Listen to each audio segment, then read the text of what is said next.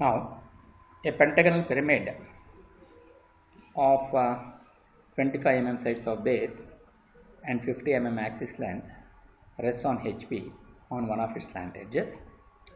Draw the projections of the pyramid when the axis appears to be inclined to VP at 45 degrees. So, since it is a pentagonal pyramid rests on HP, so obviously we have to start from HP. And since he says one of the slant edges, so you make that slant edge parallel to VP. So that means you will have to write the parallel to VP means, so obviously in a pentagon, whether it is resting on slant edge or a triangular face, the initial position always uh, the edge will be perpendicular to VP. Then naturally what happens? The slant edge which is automatically perpendicular to will become perpendicular to the base edge.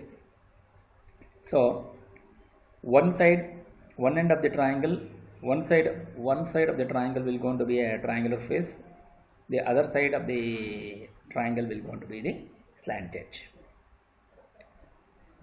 Now, so this is the initial position of the pentagonal pyramid, wherein you have when you look from the top view, A, B, C, D, E is the pentagonal surface. And wherein we have the center.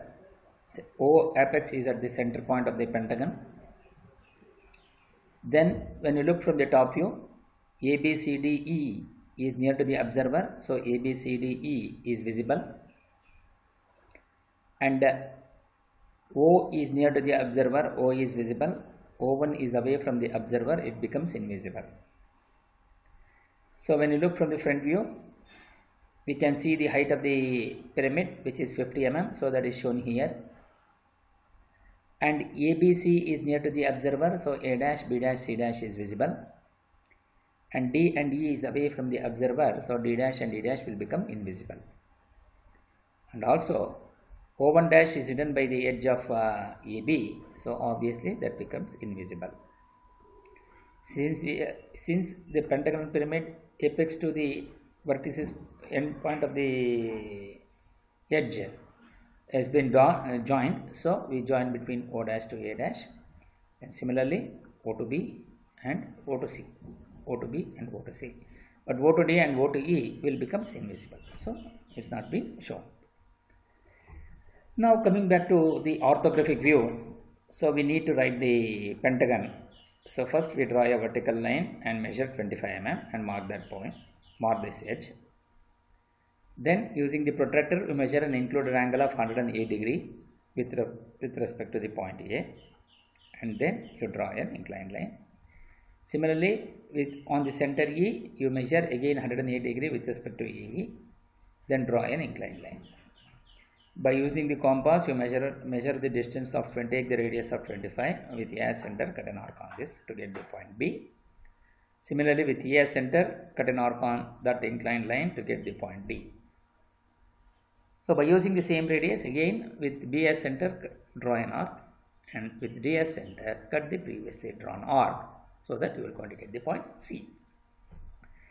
Then join with the dark line A to B, B to C, C to D, D to E, E to A. Now we need to find out the center that is O.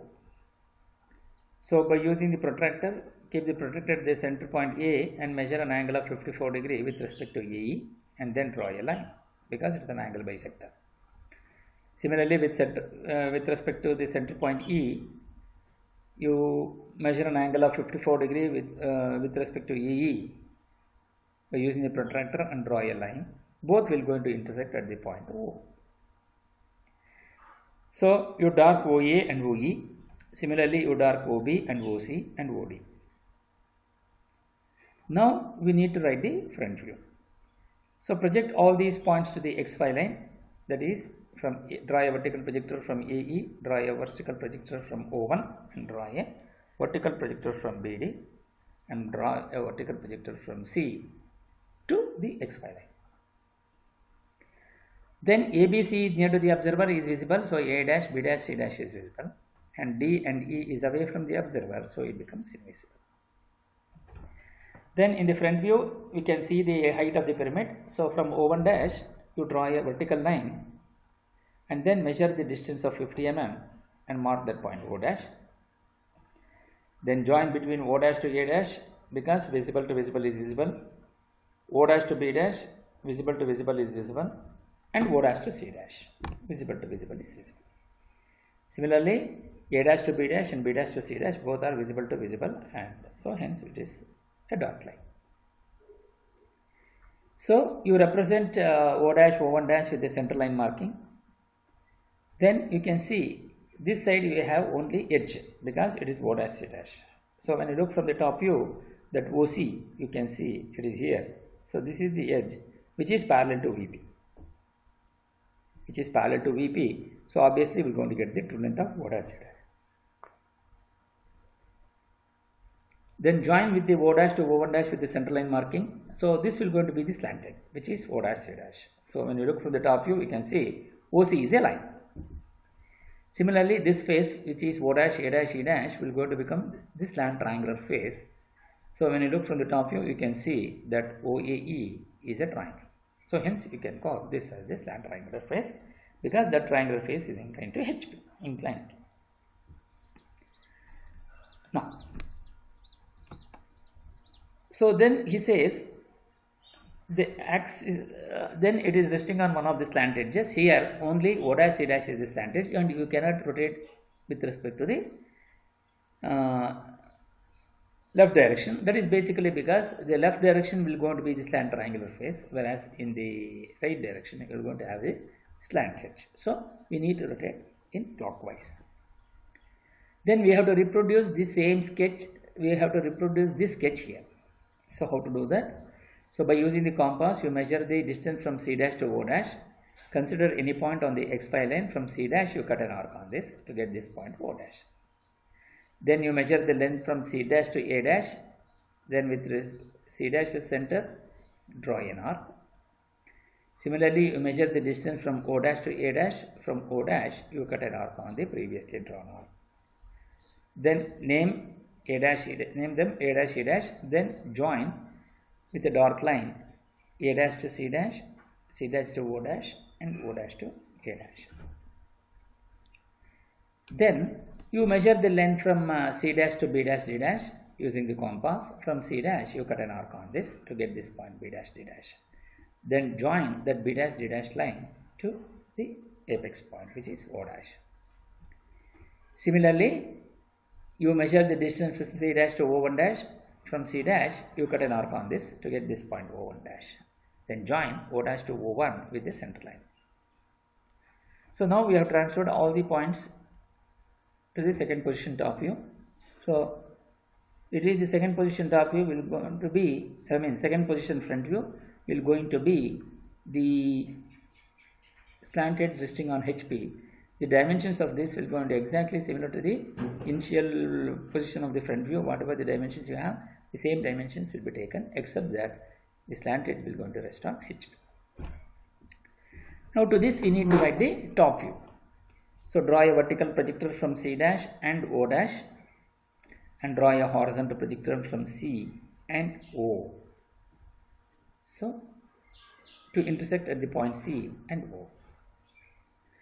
Then draw a vertical projector from O1 dash, draw a horizontal projector from O1 to get this point or to cut at this point which will be O1. Now draw a vertical projector from B dash D dash and draw a horizontal projector from B to intersect at the point B and similarly draw a horizontal projector from D to intersect at this point D and name them B and D and draw a vertical projector from A dash E dash and draw a horizontal projector from A to intersect at this point and also from E to intersect at this point. Then join. Since we have uh,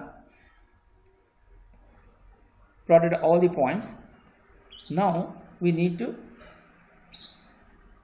draw the edges. So join between A to B, B to C, C to D, D to E and E to A with thin lines, continuous thin lines.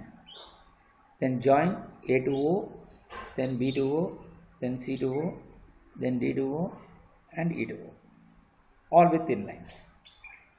Now we are going to apply the condition of visibility and invisibility. So the first condition what it says that is all the exterior edges of the boundaries of the solids are visible. So OB, BC, CD, DO all are all are on the exterior edges of the boundaries of the solid. So that is visible. So you darken.